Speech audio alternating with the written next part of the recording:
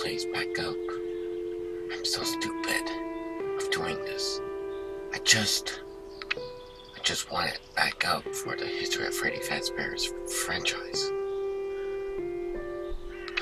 But this doesn't look like it anymore.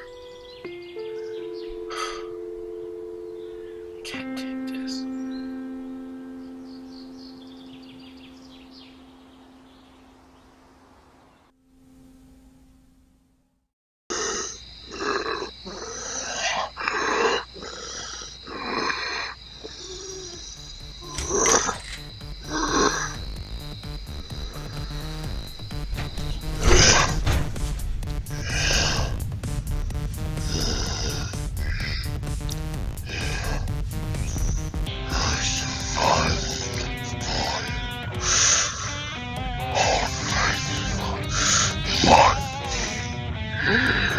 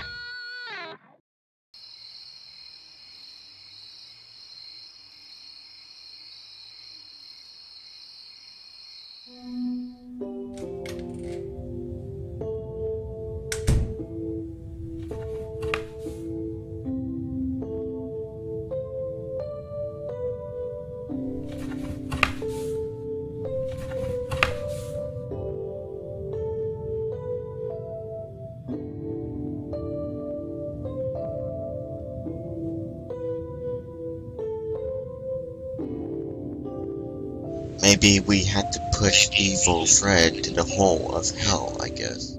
That won't work, because if that happens, he will stay alive since he had the blood of Nightmare, though. Because of evil never dies. Well, I guess um, I'll take two TNTs and the sword. I'll choose the sword then. I think I could hold some stuff, so I might take the sword and arrow with the bow too.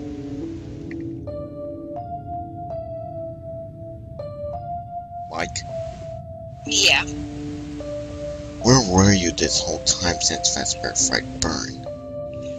Uh, I left the neighborhood because I wanted to know everything about the history of Freddy Fazbear's franchise. So I took some of your files from the desk of your secret office and I took them with me. And to go to Freddy Fazbear's Pizza. That's where my brother was dead. So, you were there this whole time. Yeah, I even had to hide myself away from you. All since if I get crazy or something.